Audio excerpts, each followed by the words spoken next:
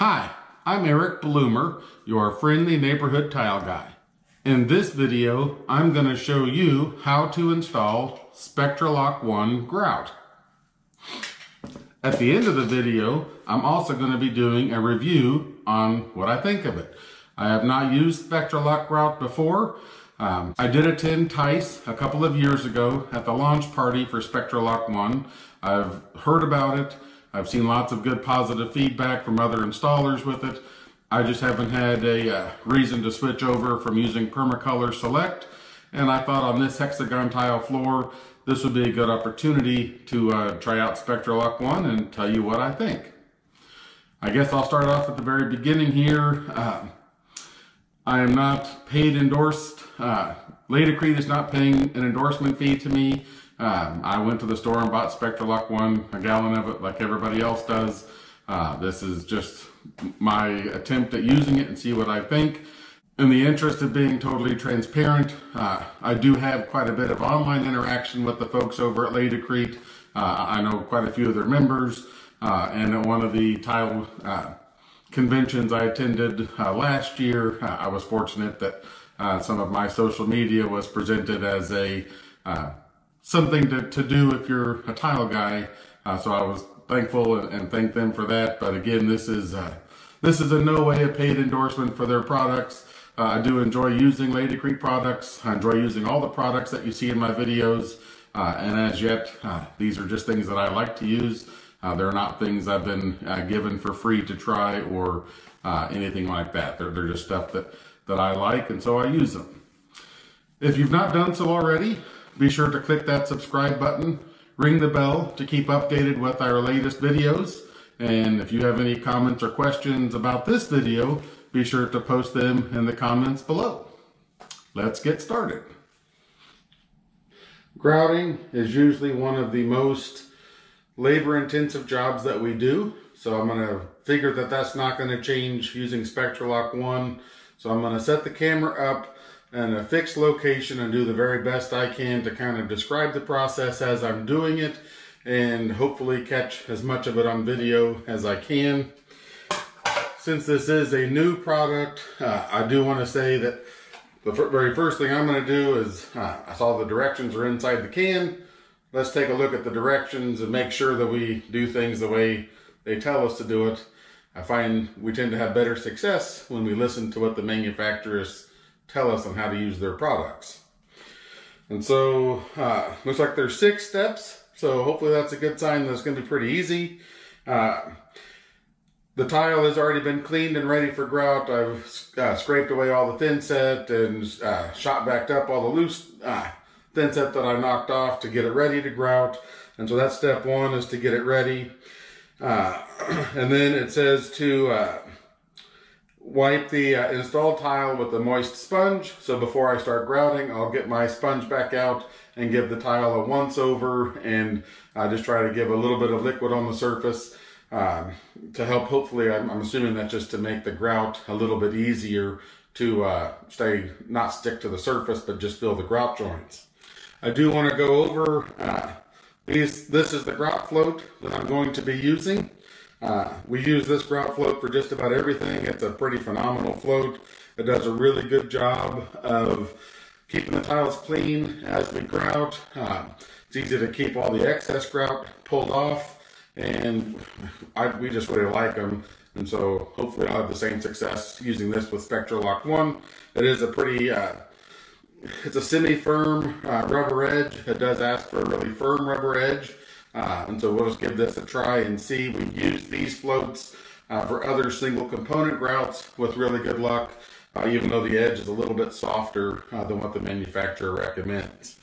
Uh, so we'll spread the grout with this. Uh, we'll get as much of the grout off with the grout float as we can, and then we'll have to wait a few minutes. It says about 5 to 15 minutes, depending on the temperature and some other factors before we can start using our sponge to lightly clean it. Um, and then we'll have to let it sit for a while. Uh, uh, using a slightly damp sponge on step five, uh, start first wash. Do not press down on the sponge. Very light circular motions, both directions for best results. Rinse the sponge frequently. Keeping the water and sponge clean will reduce Uh, so I do have a clean bucket of water for the sponge. And then after we uh, rinse the floor, we'll wait about 45 minutes to an hour and we'll go over the whole floor with a uh, microfiber and um, a nylon scrub pad to get any remaining haze off. And so that's the, uh, there's the instructions for this grout. And so I'll set the instructions right there. I'll set the lid out of the way. And the first thing we're gonna do then is get our sponge out and give us a real, uh, just a light once over with the sponge. And then we'll start putting the grout out. And So again, I'm going to wring the sponge out as much as I can. Uh, it said real light moisture. So I don't want to saturate it too much.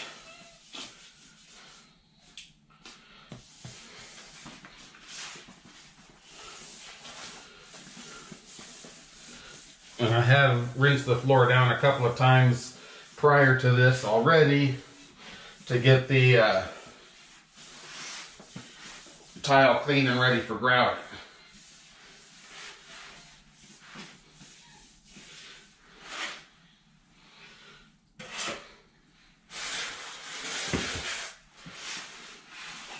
As small as this bathroom is, uh, I'm planning on pretty much just starting the grout process. Uh, by the time I get it spread out, uh, it'll probably be about time to start wiping it back off the surface and doing my initial wash.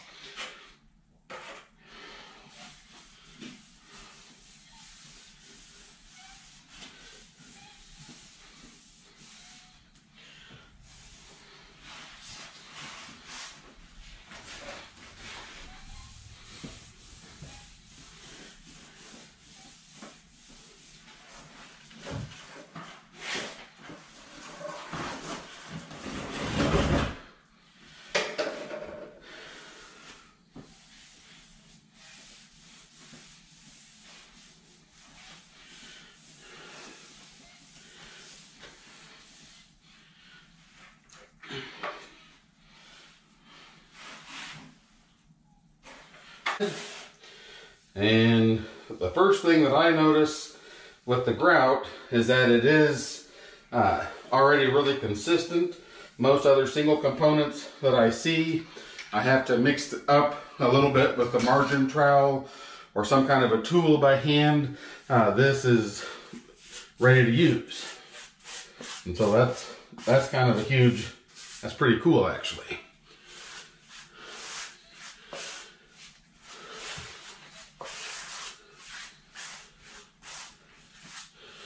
I am going to leave the tub joint open. Latasil 100% silicone to uh, grout the tub. We won't we won't fill that with Spectralock 1. Spectralock 1 does not replace soft joints.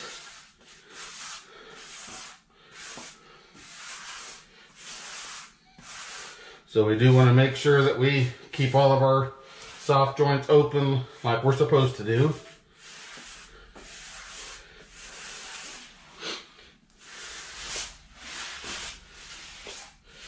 It's a little bit of a thicker grout, uh, using the first little bit out of the pail. Uh, it's not horrible, but it is a little thick. It'll be kind of curious to see uh, how it works on the walls. Uh, initial impression would be it shouldn't be should not be difficult at all to use on the walls.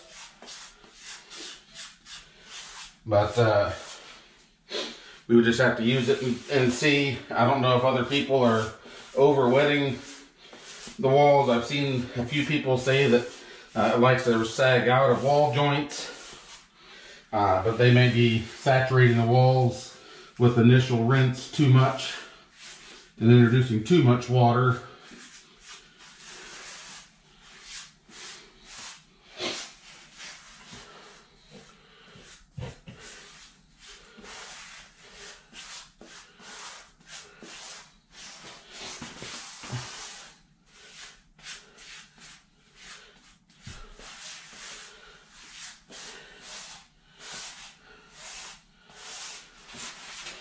at least initially, it seems to be spreading and doing pretty good. Uh, we'll see what, if any, pinholes we end up in the grout as I uh, work my way out of the room.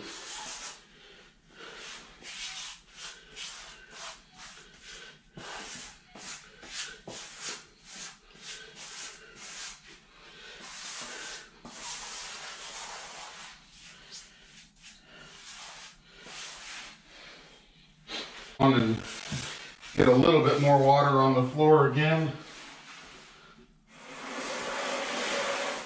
That tile is bone dry.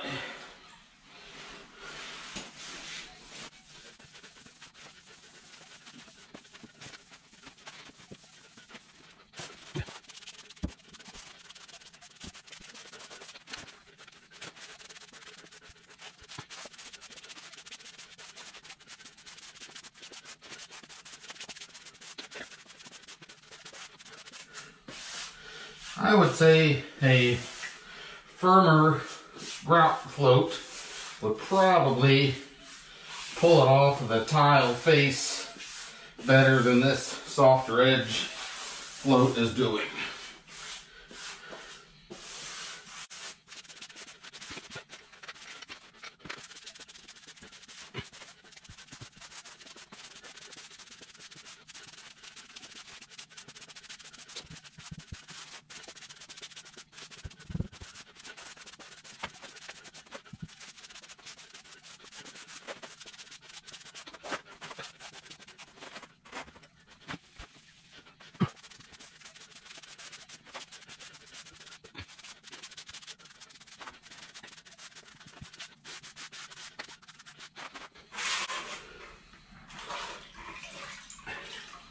It has been almost 20 minutes since the video started.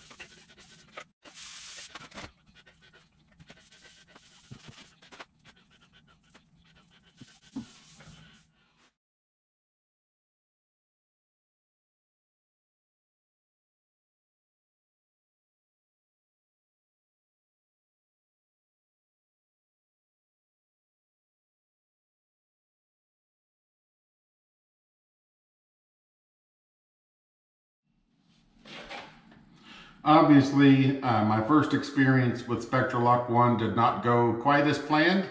Uh, all is not lost, however. I, I do want to uh, share with you something that I think is probably, I expect, really unique to the tile industry. I realized pretty quick that I was in trouble. Uh, and I felt like pretty serious trouble. And so I reached out to the uh, person I knew that would have the answer. The, the problem is this was uh, 5 o'clock, 5.30 on a Friday night. And I don't know what this individual's Friday nights are like, but uh, Friday night for my wife and I is date night. So that's where I was supposed to be at 5 o'clock was getting ready to go have dinner with my wife. Uh, the person that I got in contact with is Ron Nash.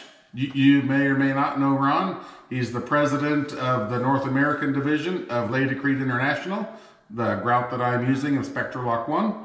Uh, Ron is a great guy. Uh, I'm not sure he ever sleeps. About any time I, I, see somebody ask him a question, he's always there with a response. Uh, I almost think that it's got to be a team of people, but, uh, but um, anyway. Uh, a few minutes went by. Uh, Ron got back with me, uh, told me what I should be doing. I, I, was happy to read that I was pretty well doing what was being suggested, but that gave me confidence knowing that I, am not messing something up uh, by, by doing this.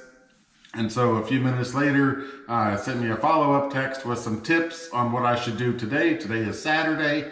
Uh, and so I just want to say a, huge thank you to Ron for taking a, few minutes out of his Friday evening to uh, help a guy out that's uh, I don't even know. I don't know where Ron lives. I think he's on the East Coast, uh, so he'd be an hour ahead of me, which would be you know uh, about six thirty, seven o'clock at night on a Friday when he's sending me messages. Uh, I'm a small time tile setter. You know, I, am not a I'm not somebody that buys pallets of way Laticrete products a, a week. Uh, we, we go through a couple pallets a year, uh, but I'm still being, you know, I, I get the same amount or same level of customer service that any of the other guys get. And that's why we use these products. And that, that's why uh, I, love being a part of the tile industry.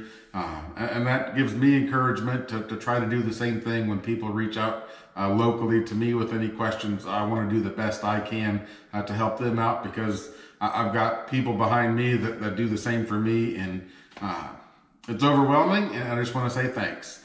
And so if you've not done so already, uh, it's kind of self-serving, but uh, I'd encourage you to click that subscribe button, ring the bell to keep updated with our latest videos. Uh, if you have comments or questions about uh, what we did here and lessons that I learned uh, that you don't think I answered completely, feel free to post them in the section below and I'll be happy to interact with you. Um, I look forward to using more Spectralock 1. I think it's a great product. Uh, I think that I just had a couple of extenuating circumstances that I should have taken into account before I started. Uh, and so we'll do better next time and uh, we'll be using this again, the Spectralock one and the same tile uh, in the other end of the house in a different bathroom in the master. Uh, and there'll be a lot more tile to grout in there because that's a full tiled shower, a curbless tiled shower anyway. So there's, there's going to be some, uh, a lot more Spectralock ones. We'll be we'll be learning a lot more and using it a lot more often. Thanks again for watching. Hi, I'm Eric Blumer, your friendly neighborhood tile guy. I am a certified tile installer located in the mid-Missouri area. If you enjoyed this video, I would like to invite you to click that subscribe button, ring the bell to keep updated with our latest videos, and click the link above to watch the next suggested video that came up after this clip. Thanks again for watching.